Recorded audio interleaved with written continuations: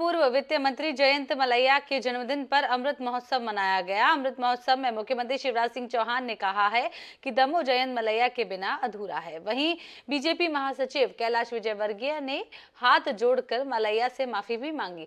Party दिग्गजों के भाषणों के बाद अब नए सियासी समीकरणों को लेकर कयासबाजी का दौर शुरू हो गया है।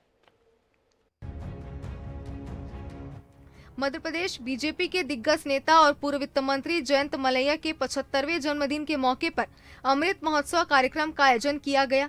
कार्यक्रम में बीजेपी के आला नेता शामिल हुए। बीजेपी के राष्ट्रीय महासचिव ने इस मौके पर कहा कि जयंत मलैया को नोटिस देना बीजेपी की भूल बताया। इतना ही नहीं, उन्होंने कहा कि नोटिस के बाद भोपाल से लेकर दिल्ली तक के नेताओं से उन्होंने बात की थी। व्यक्ति भूल कर सकता है, वैसे ही पार्टी से भी भूल हो सकती है। इसलिए मैं राष्ट्रीय महामंत्री होने के नाते आपसे हाथ जोड़कर माफ़ी माँगता हूँ। जयंत जी, आप विश्वास करें या न करें, आपने बोला भी नहीं मुझे। जब भारतीय जनता पार्टी ने आपको नोटिस दिया तो मेरा अंदर से दिल दुखा आपने मुझे नहीं कहा, पर मैंने प्रदेश के सब नेताओं से कहा कि ये बहुत बल गलत किया है हमने जयंत मलिया जैसे नेता को तैयार होने में दशकों लगते हैं, दशक तपस्या करना पड़ती है, तब जयंत मलैया तैयार होता है। ऐसे नेता नहीं बनता है। और इसलिए मैं उससे बिल्कुल ना खुश था और मैंने वह अपनी शिकायत यहाँ से लेकर दिल्ली तक की। आज तक मैंने किसी को बताया नहीं, आपको भी नहीं बताया, पर आज बता रहा हूँ। और मैं राष्ट्रीय महामंत्री होने के नाते व्यक्ति भूल करता है ऐसे पार्टी से भी भूल हो सकती है। इसलिए राष्ट्रीय महामंत्री होने के नाते मैं उस बात के लिए दोनों हाथ जोड़कर आपको सुना इस मौके पर मुख्यमंत्री शिवराज सिंह चौहान ने कहा कि जयंत मलैया पचहत्तर साल के हो गए लेकिन लगते नहीं है। कोई ये ना समझे कि ये रिटायरमेंट कार्यक्रम है। अभी तो उन्हें और काम करना है। सीएम ने कहा कि मलैया के बिना दमो अधूरा है। जब तक शांति से काम निकले शांत और शालीन लेकिन अगर गड़बड़ हो जाए तो जयंत भाई रौद्र रूप भी धारण करते हैं। और पार्टी का काम अगर दिया तो तन्मयता के साथ मुझे याद आता है कोई भी काम जयंत भाई को दिया हो, उसको बेहतर ढंग से, क्योंकि ठाकरे जी की शिक्षा ताई बता रही थी। उनकी छत्र छाया में संगठन का काम करना सीखा। अब गोपाल भाई बैठे हैं गढ़ाकोटा में गोली चल गई। तब भी शायद अर्जुन सिंह थे। मुख्यमंत्री। अब गढ़ा अर्जुन सिंह। उस समय जयंत भैया जीते ही जीते थे चौरासी में।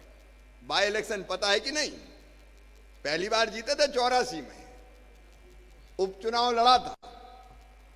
और उस भयानक माहौल में जब आतंक का राज था, उस आतंक को तोड़ने गढ़ा कोठा में घुसे थे जयंत भाई। और लोगों को आत्मविश्वास से भरने का काम किया। जब संघर्ष की ज़रूरत पड़ी तो संघर्ष।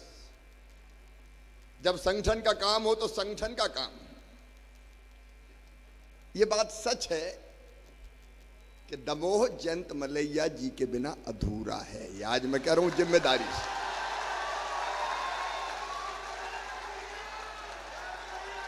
हर दिल पे।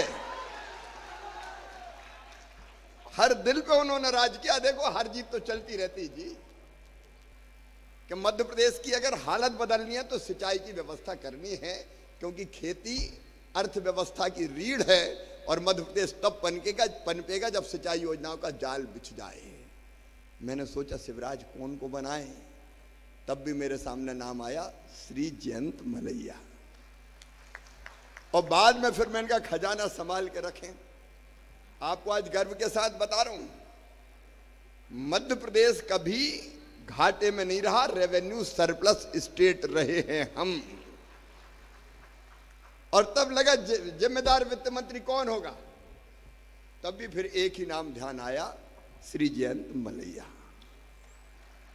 ऐसा साथ निभाते, आप कल्पना नहीं कर सकते। गंभीर से गंभीर ज़िम्मेदारी का काम।